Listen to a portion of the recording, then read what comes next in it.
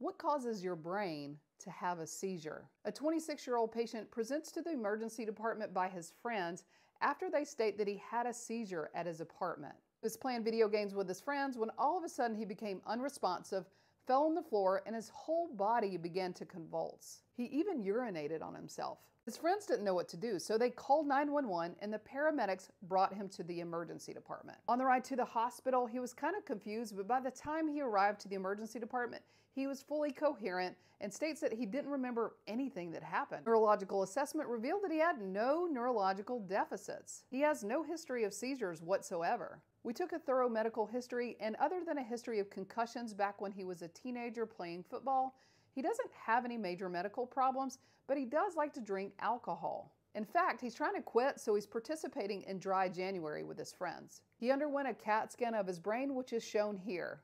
He's been feeling pretty normal and hasn't run any fevers.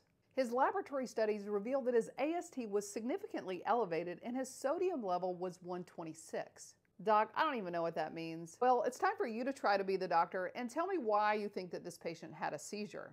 And in someone that comes in with a first time seizure, what workup do we need to do? Stay tuned tomorrow and I'll explain the whole case.